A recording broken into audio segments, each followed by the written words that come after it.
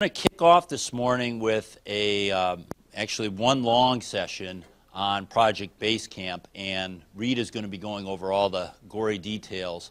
But I just wanted to tell you a little bit about Project Basecamp, who was involved, what we did, and, and what were some of the results before we got into the technical details.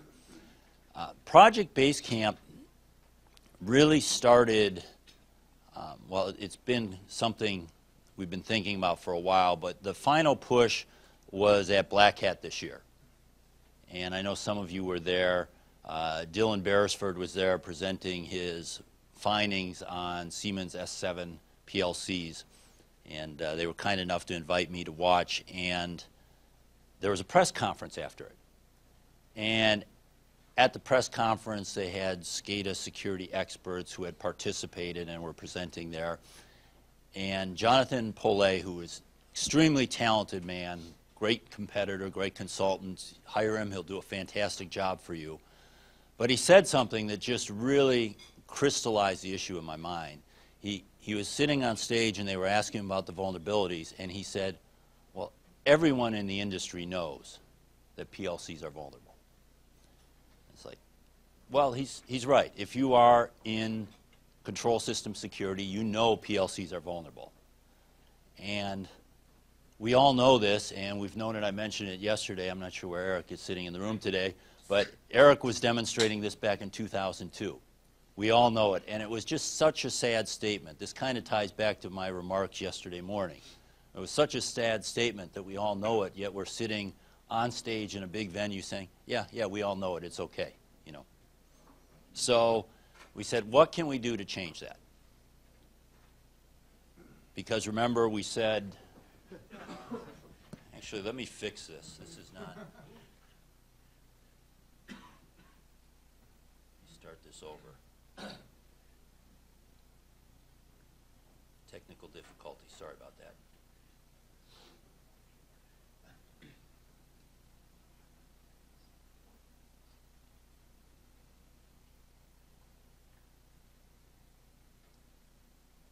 That's the way it was supposed to. be. So everyone knows this.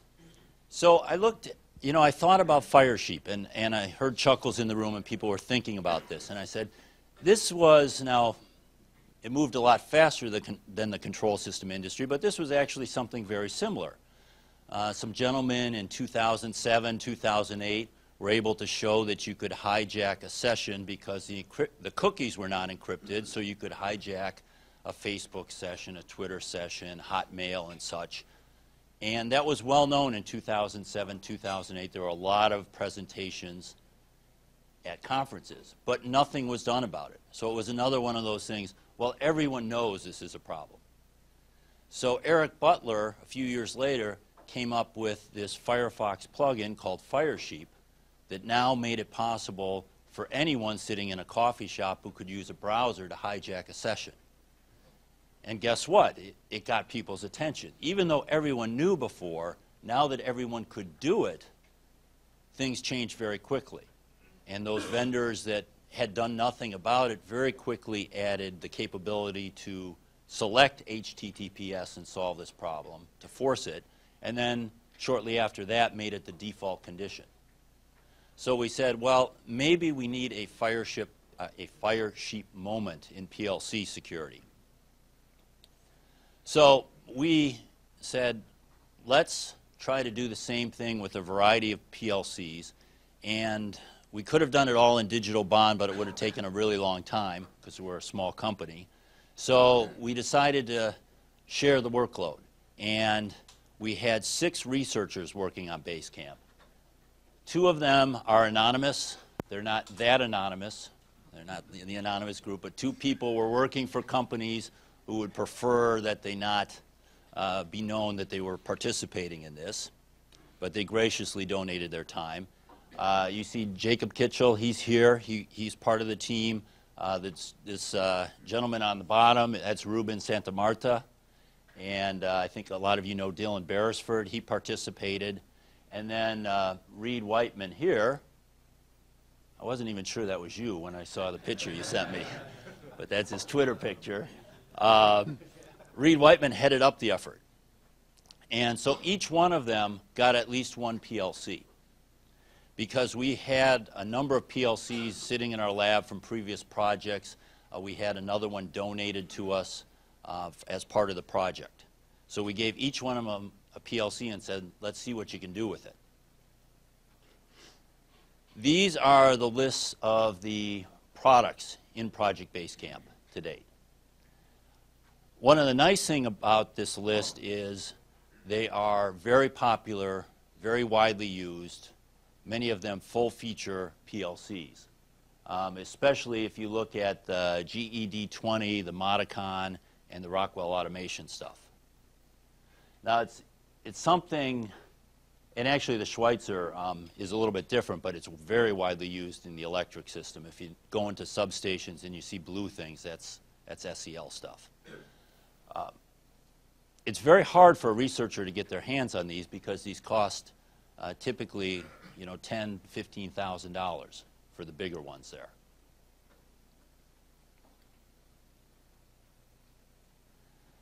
We, we asked the researchers to focus on these attack categories up there. And the attack categories were selected um, based on a couple of things. Based on previous vulnerabilities. For example, uploading custom firmware. That's the Project Boreas vulnerability that was demonstrated a couple of years ago. Uh, some of these other things that were done were things that uh, Dillon had done to a Siemens S7, and we wanted to see could they be done to an, uh, another PLC. So we asked the researchers to try to hit each one of these areas.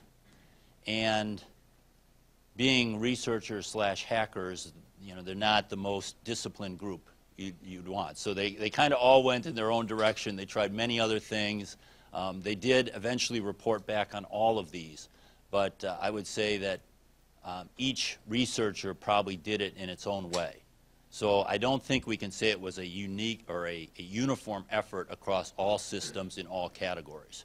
But we wanted to quantify uh, what we found. And this is a quick snapshot of, of what we found. And again, Reid is going to go into all the technical details on this uh, that you're going to want to see. You'll notice here that um, that uh, the red X means really bad, highly exploitable, major, simple problem. The uh, yellow exclamation mark means there is a vulnerability there, but it's a little bit harder to exploit. And then the green check is good. Green check means they tried, it didn't succeed. So you see, for example, on resource exhaustion, most of them did okay on that. And, and one quick thing you can see here, while well, I, would, I would make two conclusions from this. One, you see there's a lot of problems because there's mostly red and yellow up there. But you also see that not all of them are equal. So the, the GE device was by far the worst, uh, with uh, Schneider Modicon Quantum a close second. But then you get, you get sort of the middle, and then the SEL device actually has two green check marks and, and no red X's. So some of the vendors have done some work or have followed better basic engineering practices. And again, uh, we'll, we'll, get into the details. So that's what most of the presentation is. It'll go over a lot of those red X's. The last thing I want to tell you as, as a way of introduction is, remember I said we wanted a Firesheep moment. So the other part of Basecamp was to create a set of tools that would allow uh, consultants, vendors, owner-operators, security assessors, or anyone who wants to, to actually demonstrate those red X's to their clients, to the vendors themselves. So we're, we're doing two things. One is we're working with Rapid7 on their Metasploit to release Metasploit modules that will allow you to do some of these exploits. And actually, there will be a press release going out today at 11 o'clock um, that the first module is actually in their code base and being released for the GE D20 password retrieval. So that's, that's actually happening. Um, another interesting thing about security researchers slash hackers is they tend to do things at the last minute. So a lot of these, a lot of those red X's we got um, last Friday, Tuesday. Email, uh, Reid got an email at 3 in the morning this morning with, with another thing. So uh, we have a number of other modules that are written that are going through Rapid 7 QA. So Rapid 7 will be releasing these as, as they're approved.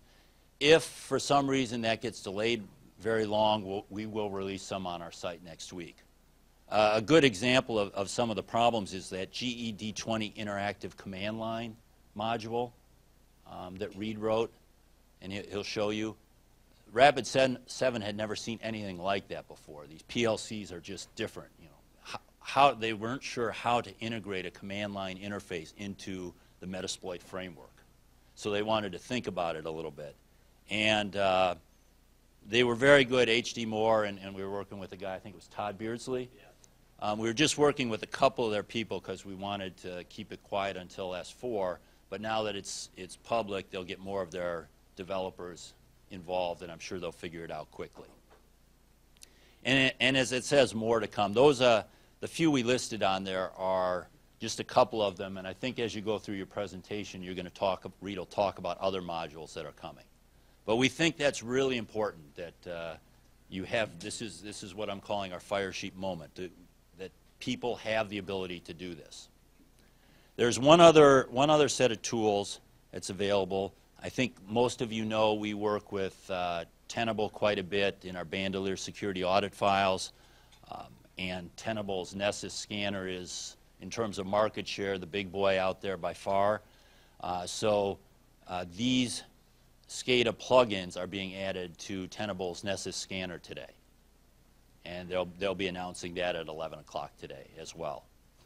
They're being added to um, the Nessus scanner so you could scan those devices and find out if, if you haven't changed your defaults or if you have vulnerable services up. Um, they also have added this to their PVS, their passive vulnerability scanner. That's not really widely used yet in, at least in the control system space, but the idea would be they would know if this, if you were using, let's say, a Modicon quantum default HTTP password, they would capture that and send an alert.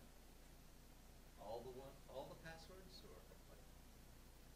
like Um, all the little surprise passwords? I don't, I don't want to say all the passwords because I'm not sure, I'm not, I'm not sure we know each and every password that's in there, but the ones that we know. All the ones you know. Okay, good enough. Yeah.